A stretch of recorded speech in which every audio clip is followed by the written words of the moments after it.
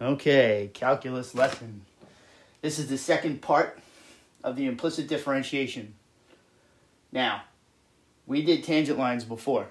This is going to be a lot harder and a lot more work. So look, implicit differentiation is long, it's time consuming, it's a pain in the neck. Now, you're going to have to do that within another problem. In the other lesson, all you had to do was find dy dx. I mean, all you had to do. it take forever, but so you were solving for dy dx, and you know you were done.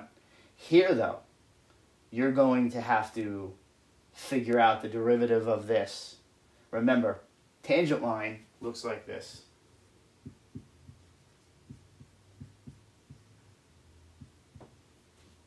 Where m is the slope of the tangent line. And remember how you found that. The slope of the tangent line is the derivative evaluated at a point. Now, this derivative is very complicated because it's got x's and y's in it. So you have no choice but to do that derivative implicitly. So you have to use implicit differentiation to take that derivative, then plug the number in, then you have m. then you can figure out what the b is. So this this this problem is going to involve a lot of work. What I'm going to do before I work this example is I'm going to write all the steps out, nice, clear, concise. Then I'm going to go through this example nice and slow, and then that'll be it. Okay, so this is the outline of steps you're going to follow to do these problems. Again, these, these problems are not trivial. They're going to take you a long time to do, but you know, you have to do it. So this problem is find the equation of a tangent line. Now, the difficulty is that the equation you are given is going to have x's and y's, so you have no choice but to do the derivative implicitly. So you're going to take the derivative with respect to x of both sides, okay, of whatever they gave you. After you do that, you solve for dy dx, just like you did. So remember how you do implicit. When you take the derivative of x, you do it normal. When you take the derivative of y, you do it normal, and you multiply by dy dx. So you're going to get dy dx's. You get them on the left or the right. Get them on one side and solve. This is where you would be done. this is where you would done at the other lesson. Unfortunately, you have a lot more to do, but it's not that bad. Once you have the derivative, the derivative, remember, the derivative tells you slopes of tangent lines at any given point. So once you have your derivative, you're going to plug the point they gave you. They're going to give you an x and a y. They have to give you x and y. They can't just give you x and make you solve for y, okay? That's the whole point. It's too complicated.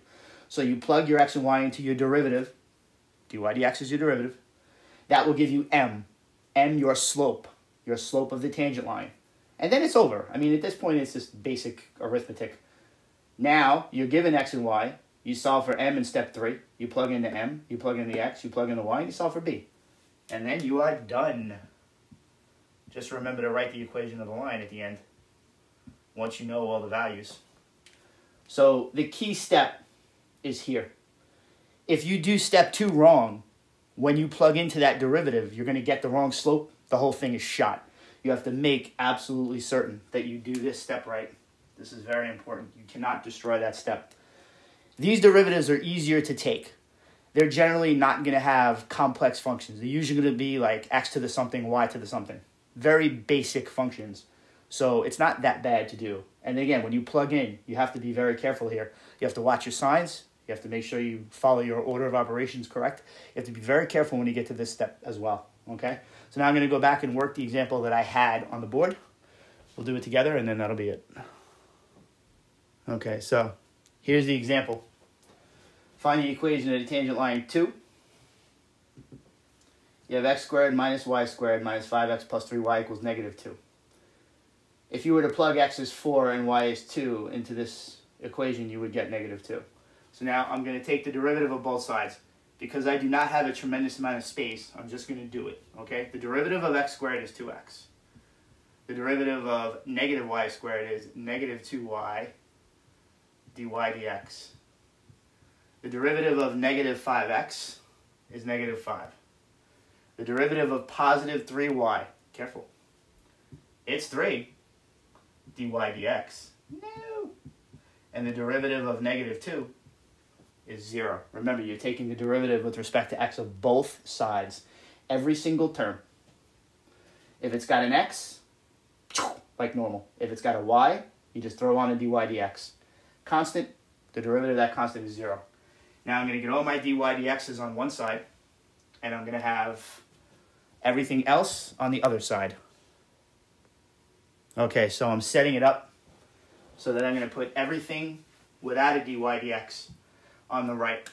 So on the left, now you can you can skip this step, but I'm going to write it. Ordinarily, if I was doing this myself, I would already have dy dx pulled out of the left side, but I won't do that now. You could also write 5, take away 2x on that side. Now remember, anything that they have in common, you can factor out. That's the whole point of this. So take the dy dx and factor it out.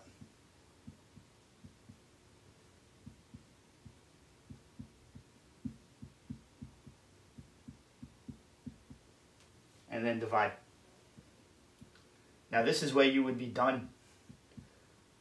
When you were only solving for the derivative, this is where you stopped. Note I could write these this way. It's up to you. It's the same thing. And remember, this is your M. Now you're not done. All right, this, this is all preliminary. You have to do all this to get the slope. The problem is find the equation of the tangent line. I haven't done that.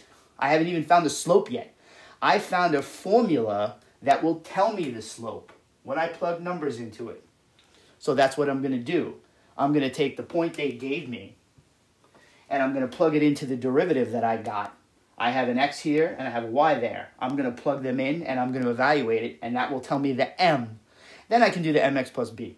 So all this work you do is just to give you a formula that will give you the slope of the tangent line. So I'm going to clean up a little bit and then I'm going to do that step. Okay, so I'm almost at the end here. I have my formula.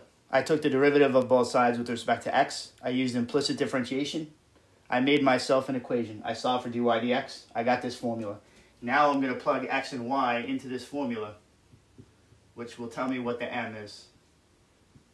And I made this one nice. Very often when you do this, you will get a fraction here. I rigged this one so that you don't, because I'm doing it. I want you to do the harder ones, as always. So you have 5 minus 8 on top, 3 take away 4 on the bottom.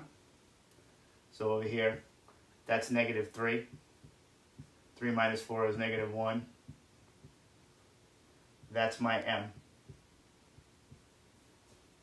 Almost over. So again, you took dy dx, you plug the number in, tells you the m.